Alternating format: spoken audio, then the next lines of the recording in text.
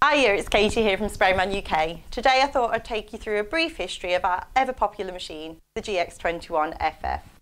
So Graco launched its superb range of GX sprayers. We have the GXFF with its hopper for fine finish work, and then we also have the GX21, which is siphon fed for all your emulsion work.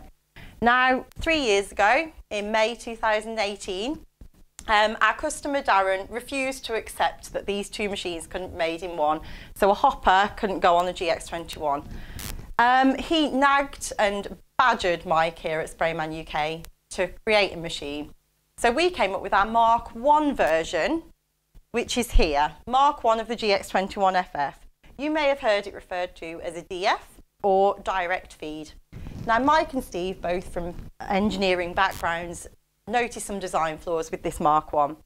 So they knew they could do better basically. So we came up with our Mark II version, which is the GX21FF. Now this is our current machine, extremely popular, and I'm going to take this video to show you why we moved from Mark 1 version for the DF to the FF.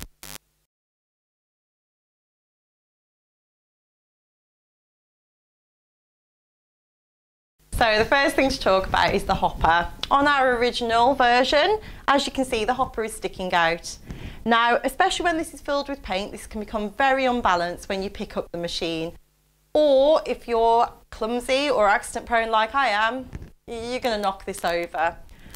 On our GX21FF, the Mark II version, the hopper is directly above the machine and within the footprint of the machine.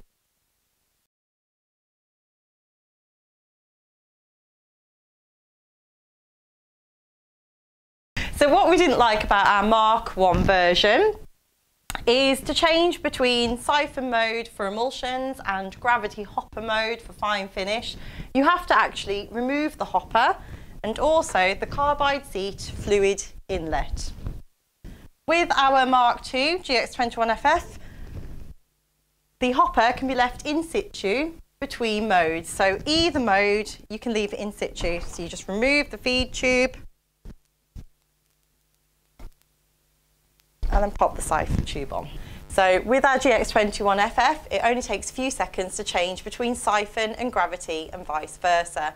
There's no need to carry tools around, no need to have to remember a spare valve, no chance of losing a ball or a spring or damaging the carbide seat. And you can also leave the hopper in situ. We have got a Sprayman UK video on how to change between modes and I will pop a link in the description.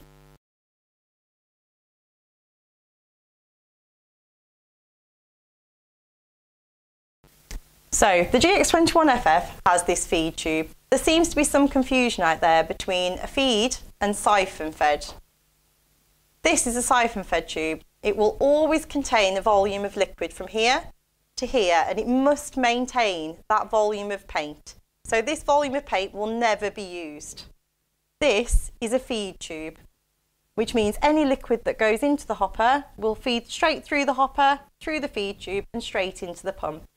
Effectively, what we're doing is increasing the capacity of the hopper by around 100 mil or so, and there's absolutely no wasted paint within this tube.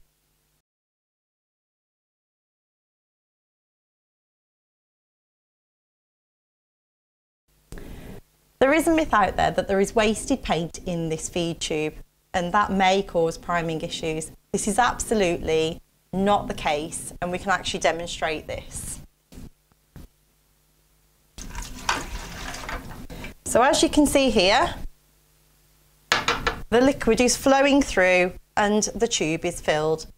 This is what we call a flooded pump inlet.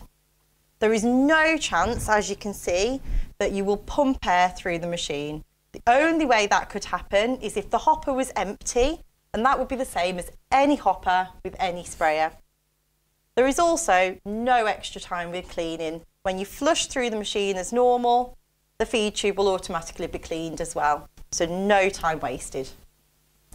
So that's our GX21FF. Hopefully we have answered some questions about why we've moved on from our Mark 1 DF version and we moved on to our Mark 2 GX21FF, a fantastic machine that's always ready to go in both modes and so easy to swap between them.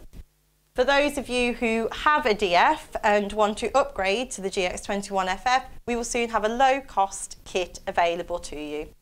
And that's it. Happy spraying!